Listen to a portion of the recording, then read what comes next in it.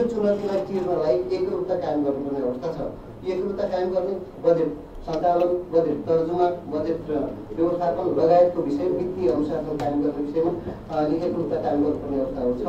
अहिले दुई सय पच्चिस अर्बलाई खर्च गर्नलाई एउटा मापदण्ड बनाउने विनियोजन ऐनले स्पष्ट छ।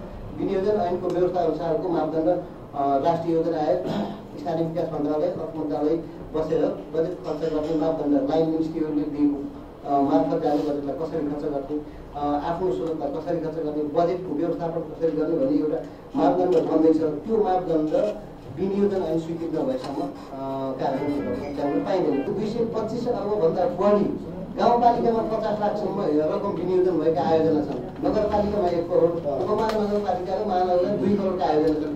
यो किन राख्यो भने स्थानीय तहमा रकम हस्तान्तरण गर्ने आयोजना हस्तान्तरण गर्नलाई स्थानीय सम्बन्धित मन्त्रालयहरू अत्यन्त अनिच्छुक भयो। उनीहरूले आफूले सञ्चालन गरेका कार्यक्रमहरू दिनै नचाहने छोड्नै नचाहने